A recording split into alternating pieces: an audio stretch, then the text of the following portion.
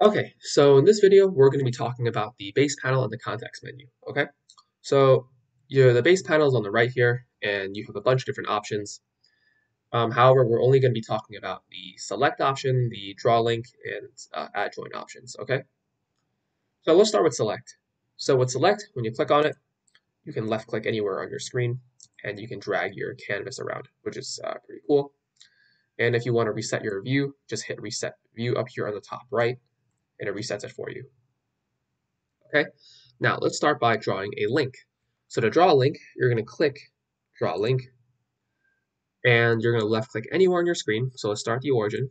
You're going to drag your link out to wherever you want, and uh, whenever you're satisfied, you let go, and that'll be your link. Okay, now um, let's start by making a structure with uh, uh, with three links.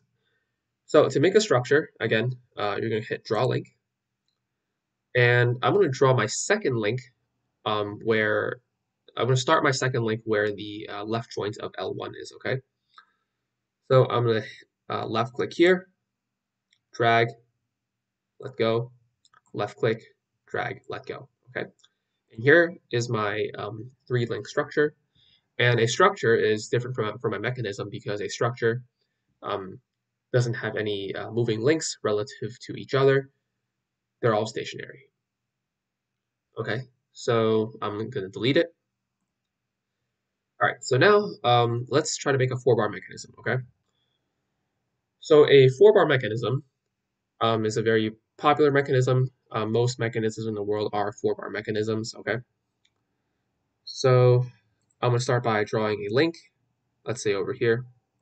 I'm going to go up go this way, and then, uh, yeah, gonna go back down, just like that. Okay. So now, I'm gonna uh, select uh, this uh, bottom left joint over here of L1, and I'm gonna click ground, okay? And then, I'm gonna click this joint, uh, the bottom joint, right joint of L3, and I'm gonna click that. Now, you notice that when I do that, um, this gray bar here pops up, this gray link, L4 pops up. And this uh, gray link is basically um, the ground link, okay? Now the ground link does not move relative to the other links. It's only there to serve as a uh, reference for the other links, basically, okay? Now you also notice here that uh, this uh, DOF here pops up. DOF stands for degree of freedom. Now degree of freedom basically um, is the number of parameters you need to fully specify or define a mechanism in space. Okay, so a degree of freedom of one means that you only need one parameter to fully specify or define uh, the location of this in space. Okay. Okay, so now I'm going to click uh, this joint again, and I'm going to click Add Rotary Actuator. And then I'm going to hit play here on the bottom. And there you have it. Congratulations, you have now made your first four bar mechanism, okay?